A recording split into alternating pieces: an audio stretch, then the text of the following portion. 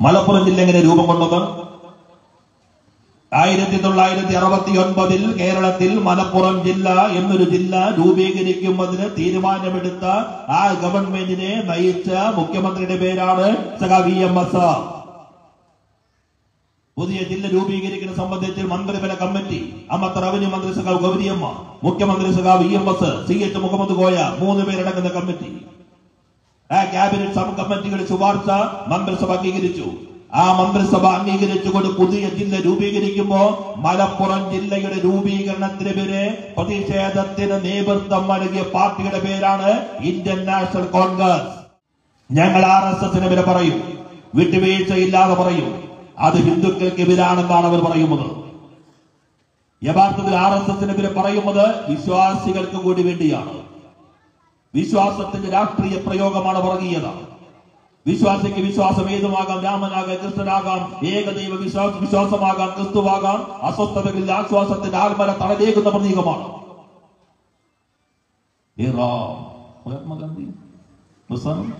വെടിയേറ്റ് വീഴുമ്പോ ഹേ റാം രാമന്റെ മന്ത്രധ്വനികൾ. ഗാന്ധി കൊല്ലപ്പെട്ടു എന്ന് ഉറപ്പായപ്പോ മുഷ്ടിയെ ചുരുട്ടി എറിഞ്ഞുകൊണ്ട് ഗോഡ്സെ വിളിച്ചു. ജയറാം ശ്രീറാം രണ്ട് രാമനാ അത് കഴിഞ്ഞപ്പോ ഞങ്ങളെ കുറിച്ച് നമ്മളെ കുറിച്ച് വന്നത്. ഇവർ മുസ്ലിം തിരുമണം നടത്തുന്നു. പൗരത്വ ഭേദഗതി. ഇതാ അതെടുത്ത് പ്രശ്നമുണ്ടാക്കി. ഏക സിവിൽ കോഡ് അത് പ്രശ്നമാക്കി. ഈ മുസ്ലിം പ്രീണനം കാരണമാണ് ഇവർ തോറ്റത്. ഇതായിരുന്നല്ലോ പറഞ്ഞത്? അത് പറഞ്ഞ ആളുകൾ തന്നെ ഇപ്പൊ പറയുന്നു മുസ്ലിം വിരോധമാണ് ഇവരെങ്ങനെയാക്കിയത് നോക്കിക്കോ ഒരേ ആളുകൾ പറയണത് അന്ന് മുസ്ലിം പ്രീണനം പറഞ്ഞു ഇന്ന് മുസ്ലിം വിരോധം പറഞ്ഞു. ഞാൻ അതിന്റെ അടിസ്ഥാന പ്രശ്നം മാത്രമേ പറയുന്നുള്ളൂ. മറ്റു കാര്യങ്ങളിലേക്ക് പോകാൻ സമയം അനുവദിക്കുന്നില്ല.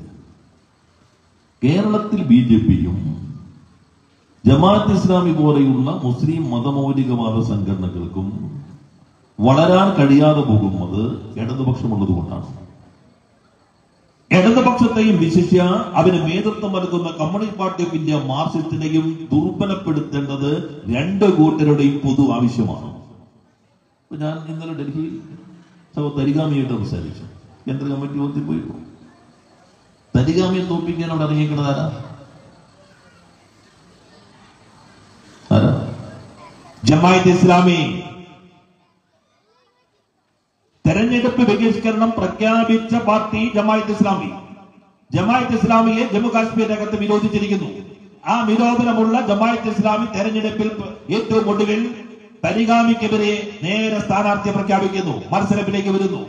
ആ ജമായത്ത് ഇസ്ലാമിയുടെ സ്ഥാനാർത്ഥിക്ക് കേന്ദ്ര ഗവൺമെന്റ് തന്നെ വിരോധിച്ചു എന്ന് പറഞ്ഞ ജമ്മുകാശ്മീരിനകത്ത് വിരോധിച്ചു എന്ന് പറഞ്ഞ ജമായത്ത് ഇസ്ലാമിയുടെ സ്ഥാനാർത്ഥിക്ക് അതേ കേന്ദ്ര ഗവൺമെന്റ് പോലീസ് സംരക്ഷണം ഉൾപ്പെടെ നൽകുന്നു. ബി ജെ പിക്ക് വേണ്ടി ജമായത്ത് ഇസ്ലാമി നിലപാട് സ്വീകരിക്കുന്നവിടെ എല്ലാ തരത്തിലുള്ള ഭീകരവാദത്തിനും തീവ്രവാദത്തിനും എതിരെ ജീവൻ പോലും ബലിയർപ്പിച്ചുകൊണ്ട് പോരാടി നിൽക്കുന്ന ജമ്മു കാശ്മീരിലെ മതനിരപേക്ഷതയുടെ പ്രതീകമാണ് യൂസഫ് തരിഗാമി മുഹമ്മദ് യൂസഫ് തരിഗാമി. മൂന്ന് തവണ തുടർച്ചയായി വിജയി നാല് തവണ തുടർച്ചയായി വിജയിച്ച എം എൽ എ. മുന്നൂറ്റി എഴുപതാം വകുപ്പ് റദ്ദാക്കപ്പെടുന്ന സന്ദർഭത്തിൽ വീട്ടു മടങ്ങിലാക്കപ്പെട്ടു തരികാമി അവിടെ തരികാമിയെ കാണണമെന്ന് പറഞ്ഞ് ആദ്യം വിമാനം കയറി. ഇന്ത്യയിൽ എല്ലാ രാഷ്ട്രീയ പാർട്ടി നേതാക്കന്മാരും സ്തംഭിച്ചുമെന്ന ഘട്ടത്തിൽ അതിനകത്ത് ആദ്യം ഇടപെട്ടു. അങ്ങോട്ട് വിമാനം കയറി. ഇപ്പൊ നമുക്ക് നഷ്ടപ്പെട്ട സ്ഥലം സീതാറാം യെച്ചൂരി. യെച്ചൂരി ശ്രീനഗറിൽ ഇറങ്ങിയപ്പോൾ അദ്ദേഹത്തെ പുറത്തേക്ക് ഇറങ്ങാൻ അനുവദിച്ചില്ല. തിരിച്ച് അതേ വിമാനത്തിൽ വിട്ടു. തരിഗാമിയെ കാണണം മോചിപ്പിക്കണമെന്ന് ആവശ്യപ്പെട്ടുകൊണ്ട് സുപ്രീം കോടതിയെ സമീപിച്ചു. സി പി ഐ എം അവരുടെ ജനറൽ സെക്രട്ടറി സഖാവ് അപ്പൊ ആ തരികാമി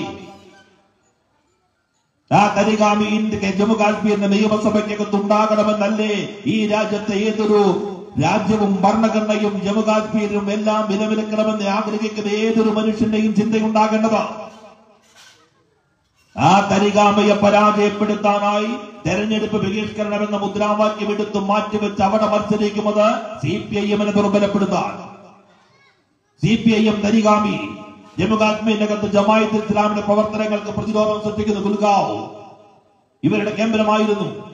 ജമായത്ത് ഇസ്ലാമി ജയിച്ച മണ്ഡലമാണ്. അവിടെയാണ് തരികാമി തുടർച്ചയായി വിജയിച്ചത്. ഇപ്പോ അവിടെ ഈ നിലപാട് സ്വീകരിക്കുന്നു. അതുതന്നെയാണ് ഇവിടെയും. ഇന്ന് മുഖ്യമന്ത്രിക്കെതിരെ മലപ്പുറത്താകെ അധിക്ഷേപിച്ചു. ഞങ്ങൾ ആർ എസ് എസിനെതിരെ പറയും. വിട്ടുവീഴ്ചയില്ലാതെ പറയും. അത് ഹിന്ദുക്കൾക്കെതിരാണെന്നാണ് അവർ പറയുന്നത്. യഥാർത്ഥത്തിൽ ആർ എസ് എസിനെതിരെ പറയുന്നത് വിശ്വാസികൾക്ക് കൂടി വേണ്ടിയാണ്. വിശ്വാസത്തിന്റെ രാഷ്ട്രീയ പ്രയോഗമാണ് വർഗീയത വിശ്വാസിക്ക് വിശ്വാസം ഏതുമാകാം? രാമനാകാം കൃഷ്ണനാകാം ഏകദൈവ വിശ്വാസ വിശ്വാസമാകാം ക്രിസ്തുവാകാം അസ്വസ്ഥതകളിൽ ആശ്വാസത്തിന്റെ ആത്മല തടലേക്കുന്ന പ്രതീകമാണ്. ഹേ റാം മഹാത്മാഗാന്ധി അവസാനം വെടിയേറ്റ് വീഴുമ്പോ ഹിറാം രാമന്റെ മന്ത്രധ്വനികൾ. ഗാന്ധി കൊല്ലപ്പെട്ടു എന്ന് ഉറപ്പായപ്പോ മുഷ്ടിയെ ചുരുട്ടി എറിഞ്ഞുകൊണ്ട് ഗോഡ്സെ വിളിച്ചു ജയ് റാം ശ്രീറാം രണ്ട് രാമനാ മഹാത്മാഗാന്ധിയുടെ രാമനാണോ? ഗോഡ്സെയുടെ രാമൻ? മഹാത്മാഗാന്ധിയുടെ രാമൻ വിശ്വാസിയുടെ രാമനാണ്. വിശ്വാസത്തിന്റെ ആശ്വാസം നൽകുന്ന ആ പ്രതീകമാണ്. ഗോഡ്സെയുടെ രാമൻ അധികാരത്തിന്റെ ആയുധമാണ്. ഗോഡ്സയിൽ നിന്ന് രാമനെ വിമോചിപ്പിക്കേണ്ടത് വിശ്വാസികളുടെ ആവശ്യമാണ്. അതുകൊണ്ട് ആർ എസ് എസിന് ഞങ്ങൾ പറയുന്നത് വിശ്വാസികളെ കൂടി ചേർത്ത് വെച്ചുകൊണ്ടാണ്. വിശ്വാസികളുടെ വിശ്വാസത്തെ കൂടി സംരക്ഷിക്കാൻ വേണ്ടിയാണ്.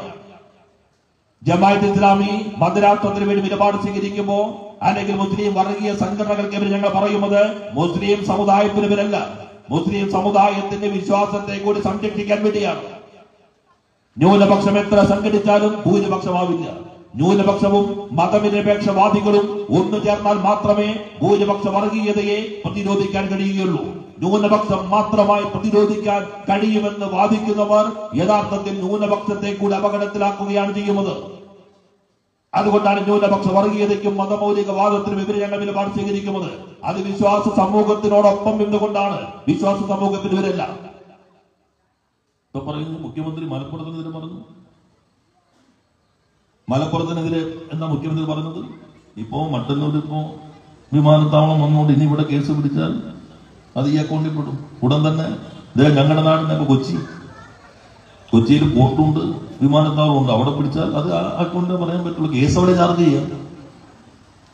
മലപ്പുറം ജില്ല എങ്ങനെ രൂപം കൊണ്ടത് ആയിരത്തി തൊള്ളായിരത്തി അറുപത്തി ഒൻപതിൽ കേരളത്തിൽ മലപ്പുറം ജില്ല എന്നൊരു ജില്ല രൂപീകരിക്കുന്നതിന് തീരുമാനമെടുത്ത ആ ഗവൺമെന്റിനെ നയിച്ച മുഖ്യമന്ത്രിയുടെ പേരാണ് സഖാ വി എം എസ്.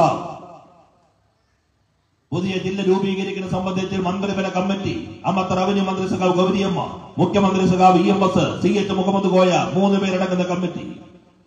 ആ ക്യാബിനറ്റ് സബ് കമ്മിറ്റികൾ ശുപാർശ മന്ത്രിസഭ അംഗീകരിച്ചു. ആ മന്ത്രിസഭ അംഗീകരിച്ചുകൊണ്ട് പുതിയ ജില്ല രൂപീകരിക്കുമ്പോ മലപ്പുറം ജില്ലയുടെ രൂപീകരണത്തിനെതിരെ പ്രതിഷേധത്തിന് നേതൃത്വം നൽകിയ പാർട്ടിയുടെ പേരാണ് ഇന്ത്യൻ നാഷണൽ കോൺഗ്രസ്. ചരിത്രം ഇതിനാണ് മറവികൾക്കെതിരെ ഓർമ്മകളുടെ സമരമാ കൂടിയാണ് രാഷ്ട്രീയമെന്ന് വിരാൻ കുത്തേര പറഞ്ഞില്ലേ? അന്ന് ആരായിരുന്നു കോൺഗ്രസിന്റെ കൂട്ടുപങ്കാളി? മലപ്പുറം ജില്ലാ രൂപീകരണത്തിനെതിരെയുള്ള ആ സമരത്തിനകത്ത് രൂപീകരണ ദിനത്തിൽ ജില്ലാ കേന്ദ്രത്തിൽ നടത്തിയ സമരത്തിൽ ആരായിരുന്നു കോൺഗ്രസിന്റെ കൂട്ടുപങ്കാളി? ഭാരതീയ ജനസംഘം. ഭാരതീയ ജനസംഘവും കോൺഗ്രസും ചേർന്നുകൊണ്ടാണ് മലപ്പുറം ജില്ലയുടെ രൂപീകരണത്തിനെതിരെ സമരം നടത്തിയത് ആ സമരത്തിന്റെ ഉദ്ഘാടനത്തിന്റെ രേഖകൾ നിങ്ങൾക്ക് ലഭ്യമാണ്. അന്ന് പറഞ്ഞു ഇപ്പോൾ തന്നെ മത്സ്യത്തൊഴിലാളികൾ പാകിസ്ഥാനുമായി ബന്ധപ്പെടുന്നുണ്ട്. പ്രത്യേക ജില്ല വന്നു കഴിഞ്ഞാൽ അത് അവനേക്കാളും അപകടകരമായിരിക്കും. അതുകൊണ്ട് ജില്ല വേണ്ട എന്ന് വാദിച്ചവർ അവരോടൊപ്പം എമ്മതാണ് കോൺഗ്രസ്. ചരിത്രത്തിന്റെ ഭാഗം. ഞങ്ങൾ ഒരു ജില്ലയെയും ഒരു മതത്തിന്റെ ഭാഗമായിട്ടേ കാണുന്നില്ല. എല്ലാ ജില്ലയിലും എല്ലാ മതവിഭാഗങ്ങളിൽപ്പെട്ടവർ ആ മതവിഭാഗങ്ങളിൽപ്പെട്ടവരെക്കാളും ഉയർന്ന കേരളം എന്ന ബോധത്തിനകത്തും ഇന്ത്യ എന്ന വികാരത്തിനകത്തും ജീവിക്കുന്നവരാകണം. അതാണ് കാഴ്ചപ്പാട് അവനെ വെല്ലുവിളിച്ചുകൊണ്ട് നിലപാടുകൾ വരുന്നു. അവരൊരു ആയുധം കിട്ടിയപ്പോ അത് കിട്ടിങ്ങനെ വരികയാണ്. അപ്പോ പോലീസ് നിങ്ങൾ എന്താ അയാളെ മാറ്റിയില്ല ഇപ്പൊ തന്നെ? നമ്മുടെ സഹാക്കളിൽ നിന്ന് നല്ലൊന്ന് സസ്പെൻഡ് ചെയ്യുന്നു ആരോപണങ്ങൾ പലതരത്തിൽ വരും. വസ്തുത ഉള്ളത് വരും വസ്തുത ഇല്ലാത്തത് വരും. അപ്പം തന്നെ നമ്മൾ സസ്പെൻഡ് ചെയ്യാനും മാറ്റി നിർത്താനും തുടങ്ങിയാൽ പിന്നെ ഒറ്റ ഉദ്യോഗസ്ഥർ ഉണ്ടാവില്ല ഒത്തിരി പരാതികൾ തരാൻ വേണ്ടി മാത്രം ഗവേഷണം നടത്തിയ ചില ആളുകളുണ്ട്. ഇങ്ങനെ പരാതി വന്നുകൊണ്ടിരുന്ന എല്ലാ ഉദ്യോഗസ്ഥരും സസ്പെൻഡ് ചെയ്യാൻ പറ്റും ഭരണ സംവിധാനം പോകില്ല എന്നാൽ വരുന്ന പരാതികളിൽ പരിശോധനയുണ്ടോ? ചില പരിശോധന പ്രാഥമികമായി തന്നെ കുറ്റം കണ്ടെത്തിയാൽ അപ്പം മാറ്റി കൊടുത്തു. അന്വേഷണം നടത്തുന്നത് നിഷ്പക്ഷമായിട്ടായിരിക്കും. ആ അന്വേഷണത്തിൽ റിപ്പോർട്ട് വന്നു കഴിഞ്ഞാൽ ആ റിപ്പോർട്ടിന്റെ നിഗമനങ്ങളുടെ അടിസ്ഥാനത്തിൽ കർക്കശമായ നിലപാട് സ്വീകരിക്കും. വരുന്ന റിപ്പോർട്ടിന്റെ നിഗമനങ്ങൾ വസ്തുതാപരമായിട്ടാണോ എന്ന് ഞങ്ങൾ പരിശോധിക്കും. ആ നിഗമനങ്ങളിലേക്ക് ഒന്ന് വന്ന വഴി ശരിയാണോ എന്ന് പരിശോധിക്കും. തെളിവുകൾ നോക്കിയിട്ടുണ്ടോ? ആവശ്യമായ രൂപത്തിൽ പരിശോധന നടത്തിയിട്ടുണ്ടോ? അത് ഞങ്ങൾ പരിശോധിക്കും. അങ്ങനെയുള്ള വഴിയിലൂടെ അല്ല വന്നെങ്കിൽ വിശാല വിശദമായ പരിശോധനയ്ക്ക് വീണ്ടും തീരുമാനിക്കും. എത്ര അനുഭവങ്ങൾ നമ്മുടെ മുമ്പിലുണ്ട്. ഒരു പുളിക്കുത്തുകളെയും ഈ ഗവൺമെന്റ് വെച്ച് പുലർത്തില്ല. ഒറ്റപ്പെട്ട പ്രശ്നങ്ങൾ. പോലീസ്. എല്ലാവർക്കും ഞാൻ കഴിഞ്ഞ ദിവസം ജാമ്യം എടുത്തുള്ളൂ. കോവിഡ് കഴിഞ്ഞ ഗവൺമെന്റ് സമയത്ത് സെക്രട്ടറി മെമ്പർ ആയിരിക്കുമ്പോൾ കോവിഡിൽ അഞ്ചു പേര് ചേർന്നിരുന്നു. വേണമെങ്കിൽ പോലീസിന് രജിസ്റ്റർ ചെയ്യാതിരിക്കാം കൊണ്ടുതിരിക്കും പക്ഷെ നിയമം നമ്മൾ കൊണ്ടുവന്ന നാല് പേര് കൂടാൻ പാടില്ല. നമ്മൾ തന്നെ ഇപ്പൊ പ്രതിഷേധം നാല് പേര് കൂടാം. അപ്പോൾ കേസ് വന്നു ഇന്നലെ നോക്കുമ്പോൾ മുഹമ്മദ് റിയാസ് ഇവിടെ ജാമ്യം കേസിൽ ജാമ്യം എടുത്തു പോയിട്ടുണ്ട്. പോലീസ് എന്ന് പറഞ്ഞാൽ എപ്പോഴും നമ്മൾ കാണേണ്ടത് ആര് ഭരിച്ചാലും ഭരണവർഗത്തിന്റെ ഉപകരണമാണ്. ഭരണകൂടത്തിന്റെ ഉപകരണമാണ്. ഇപ്പൊ കാർൽ മാർക്സ് മുഖ്യമന്ത്രി ആയാലും ഫ്രെഡറിക് എംഗൽസ് മുഖ്യമന്ത്രി ആയാലും ലെനിൻ മുഖ്യമന്ത്രി ആയാലും ആര് മുഖ്യമന്ത്രി ആയാലും ഇന്ത്യ പോലും രാജ്യത്തിനകത്തുള്ള കേരളത്തിലെ പോലീസ് ഇന്ത്യ എന്ന ഭരണ സംവിധാനത്തിന്റെ ഭാഗമായിരിക്കും. ആ പോലീസിനെ പരമാവധി സ്വതന്ത്രമായി നിയമവ്യവസ്ഥയ്ക്കകത്ത് നിന്ന് എങ്ങനെ പ്രവർത്തിപ്പിക്കാൻ കഴിയുമെന്നതാണ് ഗവൺമെന്റുകൾ നോക്കുന്നത്. കേരളത്തിലെ പോലീസ് പ്രൊഫഷണൽ മികവ് തെളിയിച്ച പോലീസാണ്. അപ്പോ എ ടി എം അപ്പൊ തന്നെ പറഞ്ഞില്ലേ കണ്ടെയ്നർ നോക്കിക്കോളാൻ പറഞ്ഞു. കണ്ണൂരിൽ നിന്ന് പോയ അനുഭവം വെച്ചിട്ടാ കണ്ടെയ്നർ നോക്കി പിടിച്ചില്ലേ. സിനിമാ സംവിധായകൻ ജോഷിയുടെ വീട്ടിൽ കയറി ഇപ്പോ മോഷണം നടന്നു കഴിഞ്ഞ് കണ്ണന്മാരെ പിടിച്ചു കഴിഞ്ഞപ്പോ അദ്ദേഹത്തെ വിളിച്ചപ്പോൾ അദ്ദേഹം പറഞ്ഞു കണ്ണൂർ സ്കൂളിലെ പോലീസിനേക്കാളും മികച്ച പോലീസാണ് കേരളത്തിലെ പോലീസ് എന്നാണ് അദ്ദേഹം എന്നോട് നേരിട്ട് പറഞ്ഞത്. ടെക്നോളജി ഉപയോഗിച്ചിട്ട് എത്രയോ കേസുകൾ തെളിയിച്ചു എന്നാൽ ചില സ്ഥലങ്ങളിൽ ചില ഉദ്യോഗസ്ഥർ ചില പ്രശ്നങ്ങൾ ഉണ്ടാവും താല്പര്യമുള്ള ആളുകൾ പോലീസിൽ ഉണ്ടാവില്ലേ? ഉണ്ടാവും. ഇന്ത്യ കേരളത്തിന്റെ സമൂഹത്തിനകത്ത് ആർ എസ് എസിന്റെ സാന്നിധ്യം ഉള്ളതിന് ആനുപാതികമായി ഏറിയോ കുറഞ്ഞോ അവർ എല്ലായിടത്തും ഉണ്ടാവും. ജമാഅത്ത് ഇസ്ലാമിയിലെ എസ് ടി പി ഐയിലെ അവരൊക്കെ പ്രത്യേകം ഇതിനു വേണ്ടി പരിശീലനം നടത്തുന്നില്ലേ? കായിക ക്ഷമത പരിശീലനമൊക്കെ നടത്തി സേനകളിലേക്ക് കയറാൻ ഏറ്റക്കുറച്ചുകളും ഉണ്ടാകും. പക്ഷെ നയം എങ്ങനെ തീരുമാനിക്കുന്നു. നയം വർഗീയ ശക്തികൾക്ക് അവരുടെ താല്പര്യങ്ങൾക്ക് അനുസൃതമായിട്ടാണോ? പാലക്കാട് ആലപ്പുഴയിൽ S D P I R S S കൊലപാതകം നടന്നില്ലേ? എന്റെ അത് പടർന്ന് വർഗീയ കലാപത്തിലേക്ക് പോകാതിരുന്നത്? സഖാവ് പിണറായി കേരളത്തിൽ ഇടതുപക്ഷ ജനാധിപത്യ മുന്നണിയുടെ മേധാവായി മുഖ്യമന്ത്രിയായി ഭരണത്തിലിരുന്ന എട്ട് വർഷം എട്ടര വർഷം നിങ്ങൾ നോക്കൂ. ഈ എട്ടര വർഷത്തിനുള്ളിൽ കേരളത്തിൽ എവിടെയെങ്കിലും ഒരു വർഗീയ കലാപം ഉണ്ടായോ ഇവിടെ കോഴിക്കോട് മാറാട് വന്നപ്പോ എ കെ ആന്റണി കൂടെയുള്ള ആൾ ഏത് മതമാണെന്ന് നോക്കിയിട്ട് അങ്ങോട്ട് കൊണ്ടുപോകാൻ അനുവദിച്ചില്ല ഓർമ്മയില്ല നമ്മുടെ മുൻപിൽ? എന്നാൽ ഈ ഗവൺമെന്റ് ഈ ഗവൺമെന്റ് പോലീസ് നയം ഈ ഗവൺമെന്റ് ഭരണനയം മതനിരപേക്ഷമാണ്. ഒറ്റപ്പെട്ട സംഭവങ്ങൾ ഉണ്ടാകും. അവരെ കർക്കശമായി നേരിടും. എന്നാൽ അവനെ പൊതുവൽക്കരിച്ചുകൊണ്ട് ഈ ഗവൺമെന്റിനെ ദുർബലപ്പെടുത്താൻ മുന്നണി അപകീർത്തിപ്പെടുത്താൻ അവന് നേതൃത്വം നൽകുന്ന മുഖ്യമന്ത്രിയെ അപവാദ പ്രചാരവേനൽ കുരുക്കാൻ അതിസമർത്ഥമായ ശ്രമം ഒരു വിഭാഗം മാധ്യമങ്ങളുടെ പിന്തുണയോടെ വലതുപക്ഷ ശക്തികൾ ആർ എസ് എസ് ആയാലും ഇപ്പോഴത്തെ മുസ്ലിം മതമൗലികവാദ സംഘടനകളായാലും യു ഡി എഫും ചേർന്ന് ഒരു മഴവിൽ മുന്നണിയായി നടത്തിക്കൊണ്ടിരിക്കുന്നുണ്ട്. വൈകാരിക അടിസ്ഥാനത്തിൽ ആശയക്കുഴപ്പങ്ങൾ ഉണ്ടാക്കാൻ കഴിയുമോ? ഒരു കാര്യമില്ല. പിണറായി വന്നത് മാത്രമുള്ള വെറുതെ ആളുകൾ ഇങ്ങനെ കേട്ടിരിക്കുകയാണ്. ഇവരെന്താ നേരത്തെ പറഞ്ഞത്? തെരഞ്ഞെടുപ്പ് കഴിഞ്ഞ ബ്രാഞ്ചിൽ വരെ മുഖ്യമന്ത്രിക്കും നേതാക്കന്മാർക്കെതിരെ കടുത്ത വിമർശനം. ഇതേ പത്രങ്ങൾ തന്നെ. ഇപ്പൊ ബ്രാഞ്ച് സമ്മേളനം നല്ല ചർച്ചയല്ലേ? ചർച്ച വരും. അത് കേൾക്കും. ലോക്കൽ സമ്മേളനം ചർച്ച വരും. ഏരിയ സമ്മേളനങ്ങൾ വരും. പരിശോധിക്കും. പാർട്ടി തീരുമാനമെടുക്കും. ആ തീരുമാനമെടുത്താൽ എല്ലാവർക്കും ബാധകമാണ്. പാർട്ടിക്കകത്ത് നിർഭയം അഭിപ്രായങ്ങൾ പറയാം. പുറത്തല്ല. അഭിപ്രായങ്ങൾ പ്രകടിപ്പിച്ച് തീരുമാനത്തിലേക്ക് എത്തിക്കഴിഞ്ഞാൽ ജനറൽ സെക്രട്ടറി മുതൽ പാർട്ടി അംഗം വരെ ആ തീരുമാനത്തിന്റെ മാത്രം വ്യക്താക്കളായിരിക്കും. എന്റെ അഭിപ്രായം വേറെയാണ് ഇതാണ് തീരുമാനം എന്നുള്ളതല്ല. അതായിരിക്കും പാർട്ടിയുടെ പൊതു അഭിപ്രായം അതാണ് കമ്മ്യൂണിസ്റ്റ് പാർട്ടിയുടെ രീതിയും ഉള്ളത്.